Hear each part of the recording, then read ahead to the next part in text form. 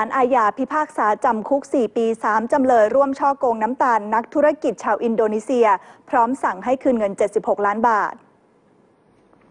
ศาลอาญารัชดาพิพากษาปรับบริษัทสีสุวรรณทรานสปอร์ตจำกัดเป็นเงิน 8,000 บาท และให้คืนเงิน 76 ล้านบาทแก่ผู้เสียหาย พร้อมสั่งจำคุก 4 ปีแก่นายรุ่งโรจน์สุวรรณศรีกรรมการบริษัทและพวกรวม 3 คน ฐานหลอกขายน้ำตาลทรายให้นายบูดี้ยูโวโน นักธุรกิจชาวอินโดนีเซีย เจ้าของบริษัท PT บูมิเรโจจำกัด ซึ่งได้รับสัมปทานจากรัฐบาลอินโดนีเซียให้เป็นผู้นำเข้าน้ำตาลทราย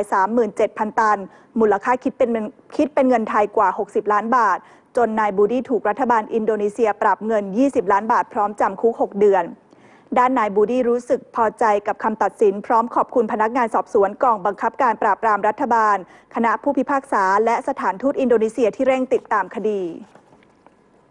พอใจมากๆค่ะ กับการตัดสินของศาลผู้ขอขอบคุณท่านตำรวจเพื่อนตำรวจเอกพงศวัยนะคะ ที่ได้ดูแลเรื่องนี้เป็นอย่างดี แล้วก็